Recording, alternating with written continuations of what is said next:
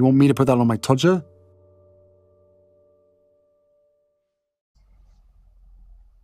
Harry's wife. The rictus grin does lunch. The Mail Online, through Martin Robinson, reports smiling Harry's wife enjoys brunch with friends in Los Angeles as Buckingham Palace confirms her children have become a prince and princess, and line of succession is updated. As it's revealed, she and Harry are expected to attend the coronation of King Charles. A cheery Harry's wife enjoyed brunch at a chic West Hollywood vegan hotspot with friends on International Women's Day, just hours after she and Prince Harry revealed that they wanted Archie and Lilibet to be a prince and princess. Wow, what a coincidence! There she is, revealing the news that they will be prince and princess, and that Buckingham Palace has updated the line of succession to demonstrate that. Naturally, that demonstrates that aspects of the royal family are under control. And in those circumstances, that provides her with fuel, the act of the updating of the line of succession. And all of a sudden, she, for the most part, having remained out of public view, coincidentally just happens to be filmed and photographed walking along the street with the rictus grin in full effect. Dressed, of course, in funereal black, with her clodhoppers below on display, the shoes looking as ever ill fitting, we can see in the pictures that that rictus grin is there as a consequence of the delight that she experiences from the fuel that's being received in terms of the outcome of the line of succession change with regard to the titles, and of course the fact that she's receiving attention from those that are photographing her. She's described as being out with friends. I don't know who the lady in blue is. I suspect she's a member of her staff. But the fact is that we know that Harry's wife doesn't have any friends. She doesn't have any friends in a genuine sense because they are simply appliances to her. But moreover, those that are around her generally don't like her because of the way that she behaves. She has a small group of individuals that tolerate her, largely because they have their own agendas which they can utilize her for. But she's hardly an individual that engenders a real sense of friendship. And of course, there she is walking along with one person. It's hardly like that she's with a, a gaggle of excited individuals who all think that she is wonderful. Her rictus grin is on display, a response, of course, to the control that's being afforded, and naturally, many people have said she looks like the cat that's got the cream. Well, as ever, she can't help herself but be smug because that is one of her default settings as a consequence of when matters are under her control and, of course, when she's in the receipt of the fuel. The article in the Daily Mail continues by explaining the Duchess of Sussex smiled as she left Gracias Madre on Melrose Avenue, a meat free and organic Mexican restaurant that claims to be born out of love for Mother Earth and reverence for all mothers. She was spotted with Ashley Momtahini, EVP of Global Communications of Archewell. So, as I suspected, isn't actually a friend. She's just there with somebody that works for her, who has no choice but to attend because her employer has told her that she has to. Demonstration of the fact that Harry's wife has no real friends once again. It came as the Daily Mail revealed Buckingham Palace is making plans for Harry and Harry's wife to attend the King's coronation. Staff organising logistics for the historic occasion have been instructed to include the Duke and Duchess of Sussex in their programme for May the 6th, sources have said. Of course, Harry's wife hasn't yet confirmed whether she'll be attending, and the reason being is she absolutely loves the attention that occurs as a consequence of people speculating about whether she will attend or not, whether she should attend, how that will look, etc rather than just do a simple no or yes, she's going to string this out for a while yet because it enables her to draw fuel as a consequence of the repeated speculation about what her intentions are. She has to make it all about her. It's not about the king and his coronation, it's all about the marvellous, magnificent Harry's wife turning up, as goes on in her head.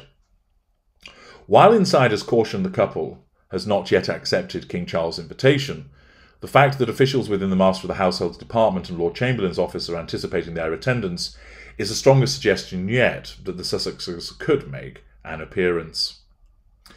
Of course, if they do attend, that could lead to problems for them. See a future video in that regard. That is despite, the article continues, spending much of the last three years throwing brickbats at the monarchy as an institution as well as the rest of the royal family, once again demonstrating the hypocrisy of Harry's wife, whereby she deems nothing wrong with insulting and smearing the family and then turning up to the coronation.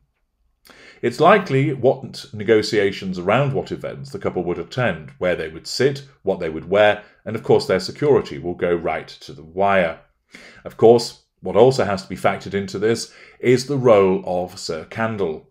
He is likely to be brought out of storage and placed in a particular position to ensure that nobody has to look at the stupid face of Harry's wife throughout the filming of the coronation. Harry's wife, who was wearing £540 white Valentino mules, which didn't seem to fit her, a matching £6,000 Chanel bag, a 3,300 Max Mara cashmere coat, and £180 Valentino sunglasses, left with two females before waving to waiting photographers and saying, Have a good day, guys. Thank you so much. Assertion of control through pleasantry. After brunch at Gracias Madre, which is well known for its wet burritos, stuffed tortillas stuffed with tomato juice, jackfruit tacos, and plantain French toast at up to $15 a plate, the Duchess jumped into waiting 4x4 with tinted windows and travelled towards Monte. Why didn't you go on your bike? Hours earlier, the Sussexes revealed their 21 month old daughter, who they named Princess Lilibet Diana, had been christened at the couple's £11 million mansion in California. It is not known if Harry's wife toasted the announcement with one of the restaurant's 93 types of tequila. Apparently, owing to its popularity, bookings at vegan Gracias Madre can be hard to come by, but the website promises there is always a seat at love's table. Ugh. Its founders, Matthew and Terces Engelhart, came under fire from vegans in 2016 when it was revealed that they eat meat. Well, it would appear that they're hypocrites, and therefore Harry's wife was in good company attending a restaurant founded by hypocrites because she's a massive one herself. What's the view below the line in relation to all of this? and her dining out there and showing off the rictus grin as a consequence of her delight. Well, below the line, the comments won't surprise you to know. Sam1256, the cat that got the cream springs to mind. Jojo, the only one I have respect for is Princess Anne. She refused titles for her children, and they've managed. These two twits in America should have done the same, as they've stated they wanted out of the royal family. They must be the biggest hypocrites in the world. I'm losing respect for Charles, and he should have abdicated and let William take over. Mom in San Francisco. Obviously, this was staged. She has no friends, and certainly arranged her own paparazzi. Go away, Harry's wife. Nulli Secundus, Comedy of the Decade, Carry On Duchess. Peter, even though their children have prince and princess titles, you just know Harry and Harry's wife will keep moaning and whining. Laura, she loves the camera. Tom Lobo, wrong signal. Now the impression the United States is created Montecito is an extension of the monarchy. Take Denmark as an example. Those who will never play a role in the monarchy should not have titles that suggest otherwise. M. MDAS 24. So they're happy criticising the institution for everything that's wrong with it, but happy to receive titles. Absolute hypocrites, and I hope they get booed at the coronation. Savaloy. What friends? Firefight 1. Now the Queen has gone, it's time to wind down the monarchy. Charles is a poor substitute for Her Majesty. Duga, I thought they left because they didn't want anything to do with this stuff. No publicity and privacy for the family. A title without any involvement really makes them irrelevant. They're making fools of themselves. Can call themselves whatever they like. Their behaviour and morals are not what's expected of the royal family. Pioneer 9. I have to stop reading these articles. She literally makes me feel ill. Anti Daily Mail 06. Thank you to the Paps for answering her calls and turning up for her PR shoot. Indeed, once again, stage managed because her popularity is tanking so she has to ensure that some friendly paparazzi turn up to see her leaving the restaurant, and so that she can display to the world that, look, I've got my way, they've got the titles, I'm the cat that's got the cream. And then cue rictus grin. I'm H.G. Tudor. Thank you for listening.